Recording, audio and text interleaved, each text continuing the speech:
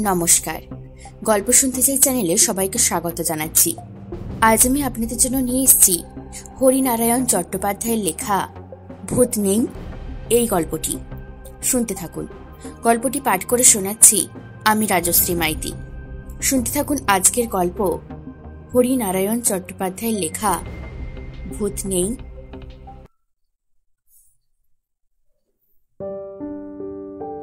আমি তোমাদের আগেও বলেছি এখনও বলছি। ভূত আর ভগবান নিয়ে তর্কের আজও শেষ নেই। যতদিন মানুষের মনে অনুসন্ধিৎসা থাকবে, ততদিন শেষও হবে না। এই বিষয়ে পৃথিবীর বিদ্যান এবং সাধারণ লোক দুটো মত পোষণ করেন। কেউ বলেন, বিজ্ঞান ভূতের অস্তিত্ব মানে না। কিন্তু বিজ্ঞানী কি শেষ কথা? আমাদের সব প্রশ্নের উত্তর বিজ্ঞান দিতে পারে। আবার কেউ বলেন, ভূত নিশ্চয়ই আছে। এমন ঘটনা তোমাদের মধ্যে অনেকেই শুনেছ কিংবা দেখেছ। খ্যাতনামা ডাক্তাররা যে মুমূর্ষ রোগীকে দিনের পর দিন চিকিৎসা করেও সারাতে পারে না, এক সামান্য ফকির রোগীর গায়ে হাত বুলিয়ে কিংবা তার মাথায় একটা রুদ্রাক্ষ ছুঁয়ে তাকে সম্পূর্ণ নিরাময় করে তুলেছে। এতে বোঝা যায়, আমাদের জগতের বাইরে আর একটা জগৎ আছে, যেটা ঠিক বিজ্ঞানের নিয়মে চলে না। তোমরা পরজন্ম সম্বন্ধে অনেক কথা শুনেছ সংবাদপত্রও নিশ্চয়ই পড়েছ, জাতিস্বর নিয়ে কত আলোচনা হচ্ছে। শুধু রাজস্থানে মরুর মধ্য দিয়ে উটের পিঠে চেপে বাপের সঙ্গে ছোট সাত বছরের ছেলে চলেছে। হঠাৎ একটা গ্রামের কাছে এসে একটা কুটিরের দিকে হাত দেখিয়ে ছেলে বাপকে বলল, ওই দেখো বাবা, ওই আমার বাড়ি। ওখানে আমার আত্মীয় স্বজন সবাই আছে। বাপ প্রথমে কড়া ধমক দিল ছেলেকে, কিন্তু তাকে নিরস্ত করা গেল না। তার মুখে ওই এক কথা, ওখানেই আমার বুড়ো বাপ রয়েছে, বউ চন্দ্রা রয়েছে ছোট ভাই এক ভোরবেলায় পেছন থেকে ধাক্কা দিয়ে আমাকে কুয়োর জলে ফেলে দেয়। তুমি চলোই না ওখানে। কৌতূহলের বশবর্তী হয়ে বাপ সেই কুটিরের সামনে গেল। দাওয়ার ওপর বসে এক বৃদ্ধ হাঁপাচ্ছে। একটি বউ জল তুলছে কুয়ো থেকে। ছেলেটি উঠ থেকে নেমে হন হন করে বৃদ্ধের সামনে গিয়ে দাঁড়াল। বাবা আমি কেশবপ্রসাদ, তোমার বড় ছেলে। দু চোখের ওপর কোঁচকানো মাংসের স্তর নেমেছে। দৃষ্টিশক্তিহীন। বৃদ্ধ ঝুঁকে পড়ে দেখে বলল দিল্লাগি করতে এসেছ? আমার ছেলে আজ আট বছর হলো মারা গেছে। ভোরবেলা কুয়া থেকে জল তুলতে গিয়ে পা পিছলে পড়ে গিয়েছিল কুয়ার মধ্যে। ছেলেটি বলল, না, পা পিছলে পড়ে যায়নি। মাধবপ্রসাদ তাকে ঠেলে দিয়েছিল। তার মতলব ছিল, আমি না থাকলে বাজরার ক্ষেত, বাড়িঘর সবই সেই পাবে। যে বউটি জল তুলছিল, সে ছেলেটির কথায় আকৃষ্ট হয়ে কাছে এসে দাঁড়াল। তার দিকে চোখ পড়তেই ছেলেটি চেঁচিয়ে উঠল। আরে চন্দ্রা, আমি কেশবপ্রসাদ চন্দ্রার বয়স বছর ত্রিশের কম নয়। সে সাত বছরের স্বামীকে দেখে হেসে ফেলল। চোখের কোণে একটু লাজও দেখা দিল। বলল, পাগল কোথাকার? ছেলেটির বর্তমান বাপ একটু পিছনে দাঁড়িয়েছিল। এবার সে এগিয়ে এসে বললে, কি ঝামেলা করছিস? দেরি হয়ে যাচ্ছে, চল। ছেলেটি যাবার কোনো লক্ষণই দেখাল না। দাওয়ার উপর বসে পড়ে বলতে লাগল, কোন ঘরে সে সুতো? সে ঘরে কি আসবাব আছে? বাজরার ক্ষেতের পরিমাপ কত? বাপের দুবার সাংঘাতিক অসুখ করেছিল। বিকানির থেকে সেই হাকিম নিয়ে এসেছিল। আরও অনেক কথা সে বলল, সে কোন গায়ে বিয়ে করেছিল? চন্দ্রার বাপের নাম কি? এমনকি বিয়ে করে বউকে নিয়ে যখন ফিরছিল, তখন মাঝপথে তুমুল বালির ঝড় উঠেছিল। সে আর চন্দ্রা সারা দেহ আবৃত করে উটের পেটের নিচে আশ্রয় নিয়ে নিজেদের বাঁচিয়েছিল। চন্দ্রা আর চন্দ্রার শ্বশুর তো অবাক। সাত বছরের ছেলে এত সব কথা জানলো কি করে? এবার ছেলেটি জিজ্ঞেস করল মাধবপ্রসাদ তো আর নেই। না তাকে ক্ষেতের মধ্যে সাপে কামড়েছে। ওই তুই যাবার এক বছরের মধ্যেই। ছেলেটি যাবার মুখেই বাধা। চন্দ্রার তাকে জড়িয়ে ধরে ভেউ ভেউ করে কান্না। সে তাকে ছেড়ে দেবে না। ছেলেটি বলল, আমার নবজন্ম হয়েছে। নতুন আমের ওপর তোমাদের কোনো দাবি নেই। আমার বাবা আছে, মা আছে, দাদারা আছে, সে সংসারে আমাকে ফেরত যেতেই হবে। এই নিয়ম। ছেলেটি বাপের সঙ্গে আবার উটের পিঠে চলল। তবে মাঝে মাঝে সে পুরনো সংসারেও আসত। এই ছেলেটি জাতিস্বর। আগের জন্মের কথা তার সব মনে আছে। বিজ্ঞানের কি ব্যাখ্যা দেবে? খবর পেয়ে বিখ্যাত এক গবেষক ছেলেটির কাছে গিয়েছিলেন। তাকে নানাভাবে পরীক্ষা করেছিলেন। শেষে এই সিদ্ধান্তে এসেছিলেন যে এর মধ্যে কোনো কারচুপি নেই। ছেলেটির সত্যিই আগের জন্মের সব কথা মনে আছে। এইরকম জাতিস্বরের কাহিনী ইদানিং অনেক শোনা যায়। শুধু ভারতবর্ষে নয়, পৃথিবীর অন্যান্য দেশেও। ঠিক এমনিভাবে ভূতের কাহিনীও সারা পৃথিবীতে ছড়িয়ে আছে। আজ তোমাদের এমনই একটি ভূতের কাহিনী শোনাচ্ছি। এই কাহিনীর সঙ্গে আমি কিছুটা জড়িত। কাজেই এটা যে নির্ভেজাল সত্য কাহিনী, এ বিষয়ে তোমাদের কাছে আমি হলপ করে বলতে পারি। আমার একজন খুব নিকট আত্মীয়া, নাম Arati Bandyopadhyay, M A BL কিন্তু ওকালতি করে না।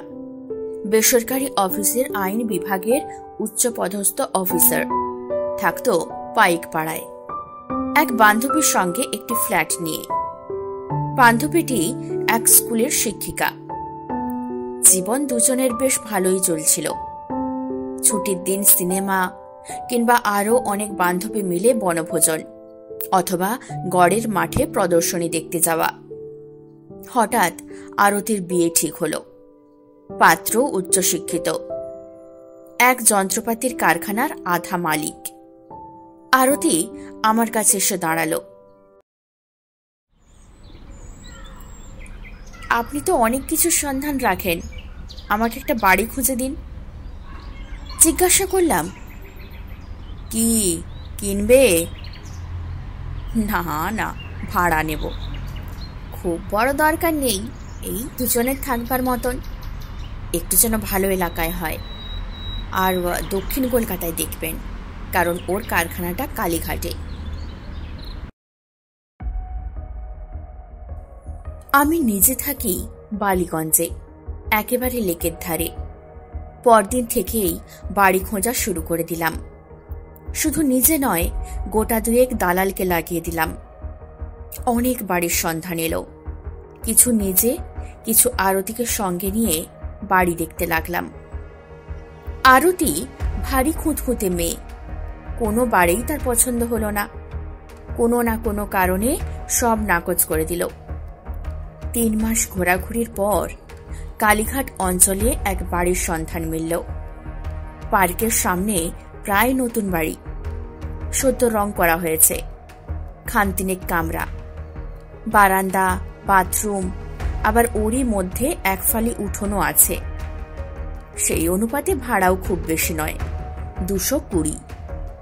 বাড়ির মালিক পাশের বাড়িতেই থাকেন। এ বাড়ি আরতির পছন্দ হয়ে গেল। শুধু আরতির নয়, আরতির স্বামী আশিসেরও। আর দেরি না করে সেদিনই দু মাসের ভাড়া আগাম দেওয়া হলো। মাসখানেক পর আরতির বাসায় বেড়াতে গিয়ে খুব ভালো লাগল। নতুন আসবাবপত্র দিয়ে চমৎকার সাজিয়েছে। উঠানের পাশে সারি সারি টব। দেশি ফুল, বেল, জুই যেমন আছে, তেমনি বিদেশি ফুল, ডালিয়া, পপি, হলিহকও রয়েছে। এমন বাসা খুঁজে দেবার জন্য আরতি আশিস দুজনেই আমাকে বারবার ধন্যবাদ জানালো। এরপর অনেকদিন আর আরতির সঙ্গে দেখা হয়নি। অফিসের কাজে দিল্লি যেতে হয়েছিল। সেখানে মাস তিনেক কাটিয়ে কানপুর। সেখানেও এক মাসের উপর লেগে গেল। কলকাতা ফিরলাম প্রায় পাঁচ মাস পর। এক ছুটির দিনে বন্ধু বান্ধব নিয়ে গল্প করছি। আরতি এসে ঢুকল। প্রথম নজরেই মনে হলো, তার চেহারা যেন একটু ম্লান। আরতি ভেতরে চলে গেল। বন্ধুরা বিদায় হতে আমিও ভিতরে গেলাম। দেখলাম আরতি চুপচাপ সোফার উপর বসে আছে। আমাকে দেখে বলল, আপনার সঙ্গে কথা আছে। কি বলো? শরীর খারাপ নাকি? চেহারাটা কেমন দেখাচ্ছে? আরতি মুখ তুলে বলল, রাত্রে একেবারে ঘুম হচ্ছে না। সে কি? ডাক্তার দেখাও, নইলে তো শক্ত অসুখে পড়ে যাবে। ডাক্তার কিছু করতে পারবে না। তার মানে? মানে বাড়িটা ভালো নয়। সে কি? স্যাঁতস্যাঁতে বা অন্ধকার এমন তো নয়? রোদ, বাতাস তো প্রচুর। ওসব কিছু নয়, অন্য ভয় আছে। আমি ঠিক বুঝতে পারছি না। আরতি কিছুক্ষণ কি ভাবল, তারপর আস্তে আস্তে বলল বাড়িতে আমরা দুজন ছাড়াও অন্য একজন আছে। অন্য একজন আছে? হ্যাঁ তাকে মাঝে মাঝে গভীর রাতে দেখা যায়।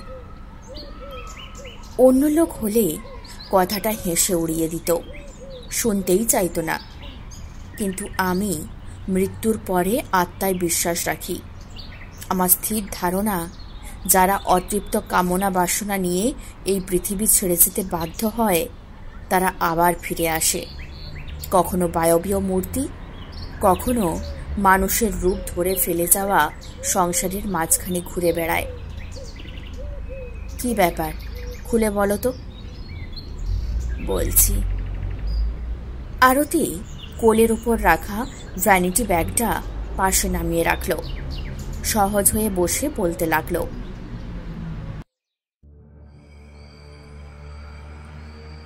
মাস দুয়েক আগে হঠাৎ খুটখাট শব্দে ঘুম ভেঙে গেল। মনে হলো বাইরের ঘরে যেন কার পায়ের আওয়াজ।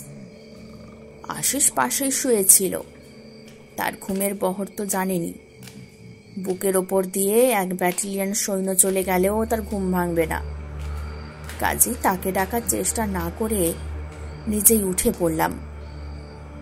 ভিতু এ বদনাম কেউ দিতে পারবে না। বরং সবাই জানে আমি রীতিমতো সাহসী। প্রথমে জানলা দিয়ে দেখলাম, কিছু দেখা গেল না। কিন্তু খুটখাট শব্দ ঠিক চলতে লাগল। মনে হলো খড়ম পায়ে দিয়ে কে যেন পায়চারি করছে। অথচ কোনো লোককে দেখা গেল না। রাতে মাংস রান্না হয়েছিল। হাড়ের টুকরো রান্নাঘরে প্লেটের উপর পড়েছিল। খুব সম্ভবত ইঁদুর সেই হাড়ের টুকরো বাইরের ঘরে নিয়ে এসেছে। কিছুক্ষণ দাঁড়িয়ে থেকে আবার বিছানায় এসে শুয়ে পড়লাম। তখনই ঘুম এলো না।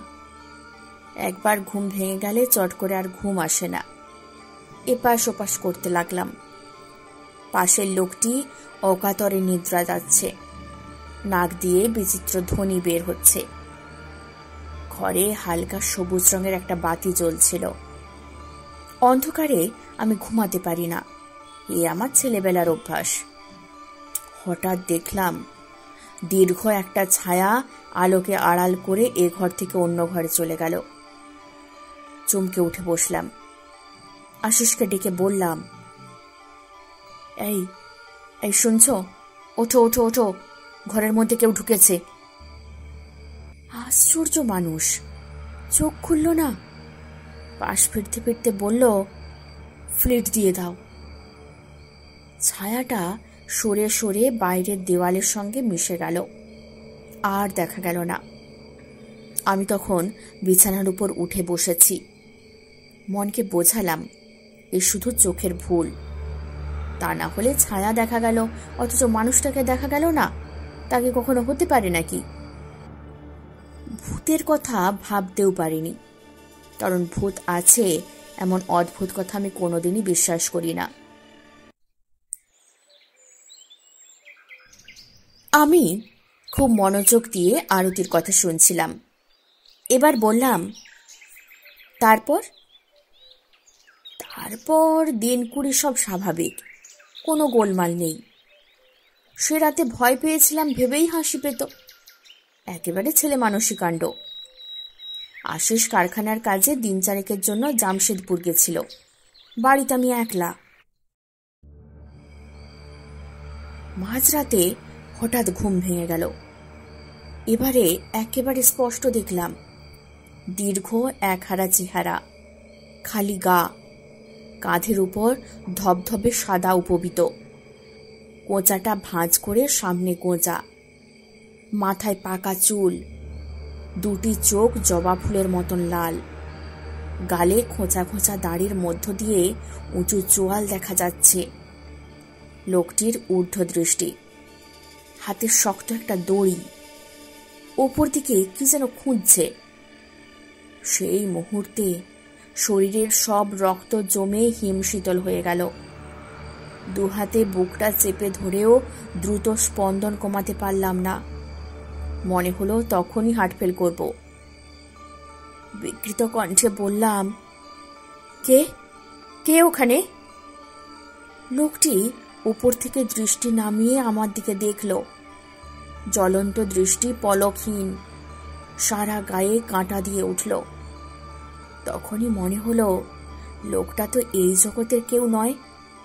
এ তো অশরীরী আত্মা। আস্তে আস্তে লোকটা পাশের ঘরে ঢুকে গেল। আমি খাট থেকে নামলাম, কিন্তু তার পিছনে যাবার সাহস হলো না।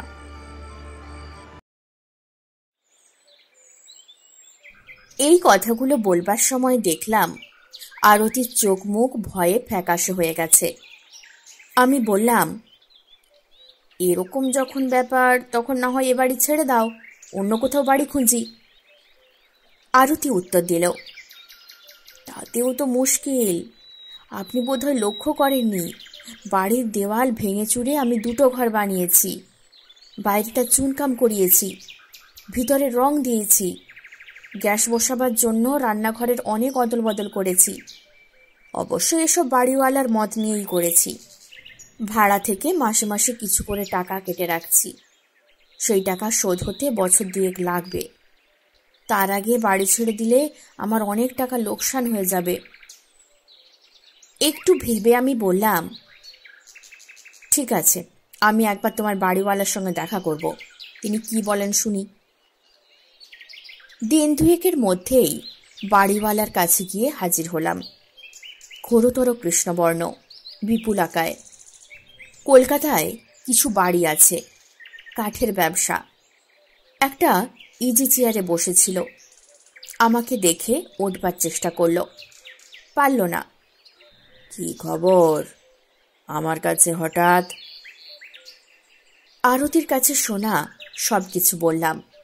শেষকালে জিজ্ঞাসা করলাম, ঠিক করে বলুন তো, ও বাড়িটায় কোনো দোষ আছে?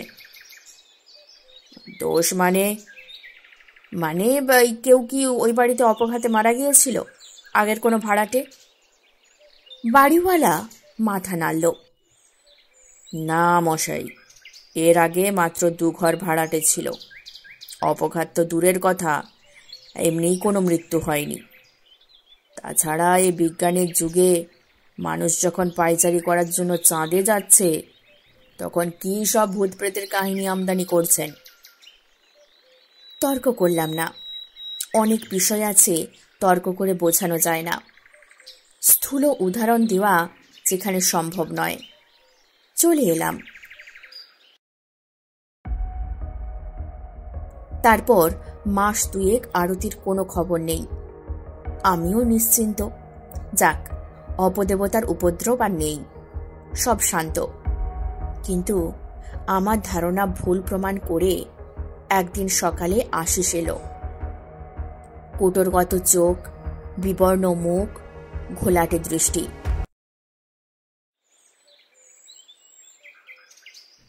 বললাম, কি হে, শরীর খারাপ নাকি? আরতি কেমন আছে? আমার কথার উত্তর না দিয়ে আশিস অস্পষ্ট গলায় বলল, একটু জল দিন।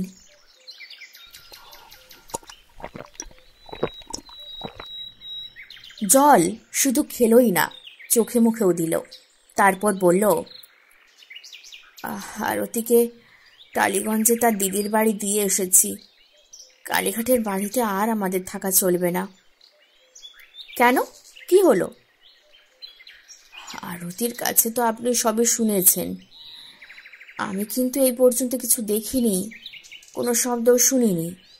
সেই জন্য এতদিন আমি আরতিকে ঠাট্টা করতাম। তাছাড়া ভূত, আত্মা এসবে আমার কোনোদিনই কোনো বিশ্বাস ছিল না।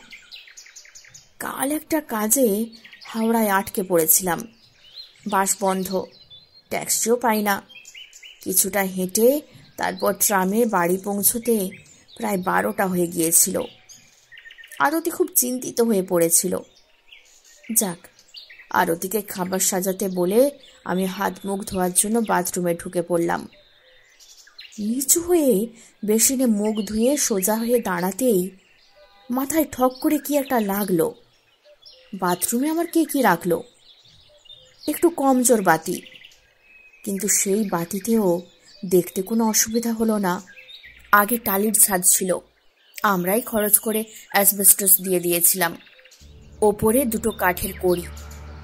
একটা কড়িতে দেহটা ঝুলছে। গলায় দড়ির ফাঁস। মাথাটা একদিকে কাত হয়ে পড়েছে। চোখ দুটো হাত বোঝা। জীবটা অনেকখানি বের হয়ে গেছে। বোধহয় জীবের উপর দাঁতের চাপ পড়েছিল। তাই জীব কেটে রক্তের ফোঁটা ঝরে পড়ছে। কিছুটা দেহের উপর আর কিছুটা মেঝেতে। পরনে আধ ময়লা ধুতি, কাঁধে পইতে মাথা উঁচু করার সময় ঝুলন্ত দেহের একটা পা আমার মাথায় ঠেকে গিয়েছিল। আমি সব কিছু ভুলে আরতি বলে চেঁচিয়ে উঠেছিলাম। আরতি আমার অপেক্ষায় খাবার টেবিলে বসেছিল। আমার চিৎকারে ছুটে এসে বাথরুমের দরজার কাছে দাঁড়িয়েছিল। প্রথমে সে সঠিক কিছু বুঝতে পারেনি। তারপর ওর দিকে চোখ যেতেই ঘুমাগো! বলে মেঝের উপর ছিটকে পড়ে অজ্ঞান হয়ে যায়। আরতির মুখে জলের ঝাপটা দিয়ে কোনো রকমে জ্ঞান ফিরিয়ে আনলাম। তারপর বাকি রাতটা দুজনে বাইরের ঘরে বসে কাটালাম। ভোরের আলো ফোটার সঙ্গে সঙ্গে প্রথম ট্রামে উঠে আরতিকে নিয়ে যখন তার দিদির বাড়ি এলাম, তখন জ্বরে আরতির গা পুড়ে যাচ্ছে। চোখ দুটো কর্মচার মতন লাল। আমি চুপ করে সব শুনলাম। আশিসের কথা শেষ হতে জিজ্ঞাসা করলাম আরতি এখন কেমন আছে? খুব ভালো নয়। বেকারের ঘোরে মাঝে মাঝে চেঁচিয়ে উঠছে, ওই ওই লোকটাই ঘুরে বেড়াচ্ছিল দড়ি হাতে আমি আর এখানে থাকব না, আমাকে অন্য কোথাও নিয়ে চলো। অবশ্য আরতির জন্য খুব চিন্তা নেই। ভয়টা কেটে গেলেই ঠিক হয়ে যাবে। কিন্তু সব কিছু নিজের চোখে দেখবার দারুণ ইচ্ছা হলো। এমন তো নয়। একসময় দরজা খোলা পেয়ে বাইরের কোনো লোক বাড়ির মধ্যে ঢুকে পড়ে আত্মহত্যা করেছে। সে হয়তো আত্মহত্যা করবার নির্জন একটা জায়গা খুঁজছিল। তাই আশিসকে বললাম, চলো, একবার নিজের চোখে দেখে আসি। তাছাড়া তোমরা ব্যাপারটাকে ভৌতিক ভাবছ, তা তো নাও হতে পারে। পুলিশে খবর দেওয়াও তোমাদের একটা কর্তব্য। তারা এসে মৃতদেহের ভার নেবে। আশিস আমার সঙ্গে চলল।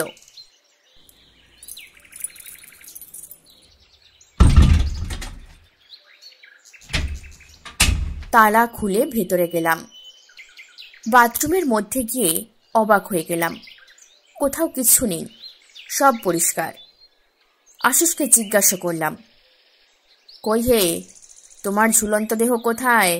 রক্তের একটা ফোঁটাও তো কোথাও দেখছি না। আশিস রীতিমতো অপ্রস্তুত, সব তোমার চোখের ভুল বুঝলে? আশিস মাথা নাড়ল, কিন্তু দুজনেই ভুল দেখলাম। ওরকম হয়। একজনের ভয় আর একজনের মধ্যে সঞ্চারিত হয়ে তাকেও এক ধরনের কাল্পনিক দৃশ্য দেখায়। তুমিই দেখো না, কাল রাতে যদি তুমি সত্যিই ওরকম একটা দৃশ্য দেখে থাকো, তাহলে আজ কোথাও কিছু নেই। তা কি কখনো হতে পারে? এইখানটাতেই তো দেখেছিলে। মুখ তুলে ওপরের দিকে দেখেই আমি থেমে গেলাম। কি আশ্চর্য! এটা তো আগে দেখিনি। কড়ির সঙ্গে একটা মোটা দড়ি বাঁধা। দড়িটা ফাঁসের আকারে ঝুলছে।